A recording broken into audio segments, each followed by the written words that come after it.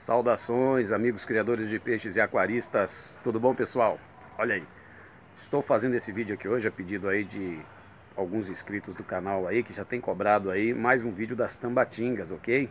E eu gostaria hoje aí de estar é, mostrando para vocês, né?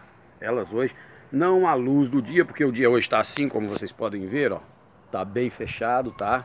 Por isso que eu estou tentando levantar aqui a câmera ao máximo para pegar um pouco de luz, porque ó, faz assim, escurece tudo, então aqui melhora um pouquinho, tá certo? Apesar que não tem muita coisa aqui para ver, vocês querem ver peixe, não é isso? Então, tô aqui, a minha retaguarda aqui tá a caixa dos pirarucus, que dia 17 a gente vai estar tá fazendo um novo vídeo deles aí, informando aí o crescimento, beleza? Olha aí, pessoal, aqui é a caixa das tambatingas, ó. Quero falar para vocês que essa caixa não tem oxigenação mecânica, tá? Não tem. É, claro que tem oxigênio, né? Porque senão os peixes não estariam vivos. Se a gente falar, ah, tem como criar peixe sem oxigênio? É, vamos ser bem específico. Tem como criar peixes sem bombinha, tá? Sem oxigênio não. A água precisa ter oxigênio.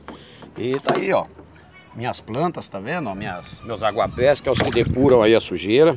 Bom, deixa eu pegar aqui, ó. Vamos ver aqui se a gente pega aqui uma tambatinga. Olha aí, ó. Pegamos, tá vendo? A última vez que eu filmei, foi à noite, né? Apesar de eu ter caprichado na iluminação, acredito que hoje, não sei aí como está sendo visto aí, está tendo uma boa visão aí do peixe, ó. Beleza?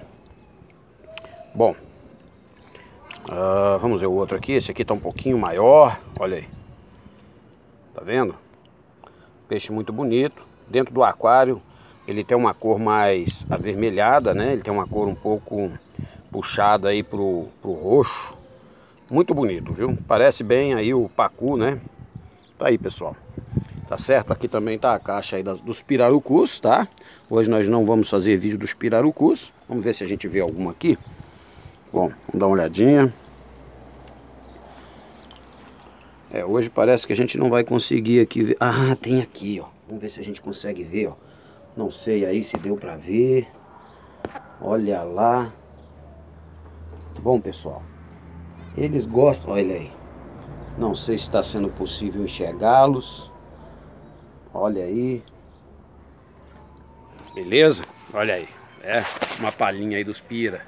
Bom, pessoal, também como tô sempre aí querendo aí dar alguma dica aí para você que é criador, para você aquarista, para você que cria em tanques, em pequenos lagos.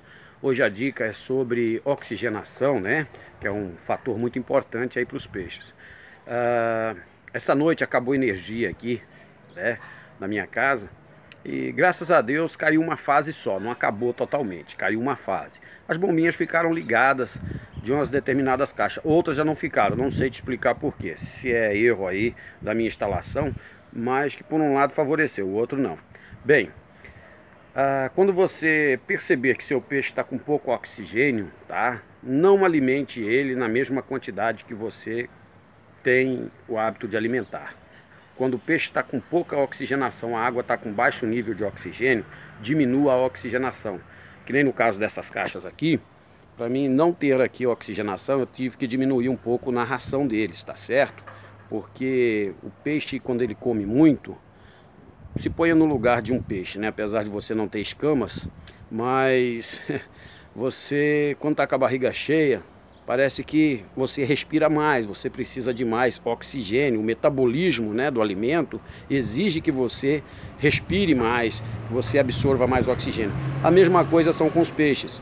Então fica aí essa dica aí, beleza? Sempre que você vê que está com pouca oxigenação seu tanque, sua caixa, seu lago, diminua na alimentação aí, porque eles não têm noção disso, eles vão comer muito.